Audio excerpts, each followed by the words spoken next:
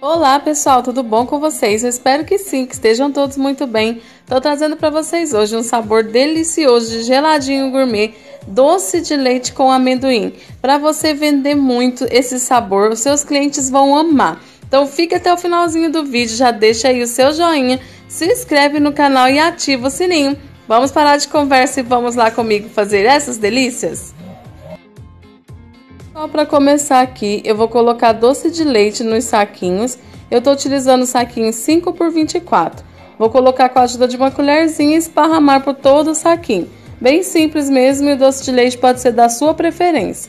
Agora, pessoal, a gente vai fazer a nossa base. Eu coloquei um litro de leite integral aqui na jarra.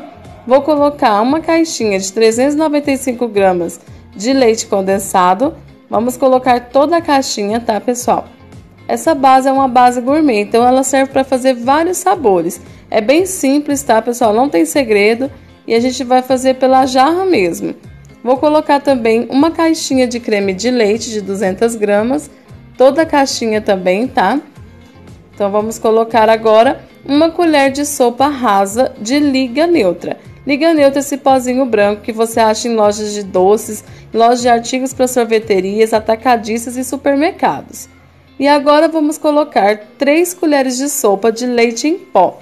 Eu estou utilizando aqui o leite ninho, mas você pode colocar o leite em pó da sua preferência. 3 colheres de sopa. Agora a gente vai mexer esses ingredientes, pessoal, para dissolver bem e depois a gente vai acrescentar o último ingrediente. Vamos mexer tudo muito bem. Pode ser aí com o fouet ou com a colher. Agora aqui, pessoal, separei seis paçoquinhas dessas, ó e vou triturar elas com um garfo, bem grosseiro mesmo. A gente vai triturar ela bem rapidinho. Pronto, pessoal, aqui eu já triturei. Então a gente vai colocando aos poucos essa paçoquinha triturada. Vamos colocando e mexendo, tá, pessoal? Para poder misturar bem essa paçoquinha todo com todos os ingredientes. Olha só, é bem simples. Você pode bater no liquidificador, mas depois você tem que retirar a espuma, que dá bastante espuma. Então aqui vamos mexer mesmo depois de mexer muito bem, vamos colocar dentro dos saquinhos que já estão com doce de leite, dessa forma aqui.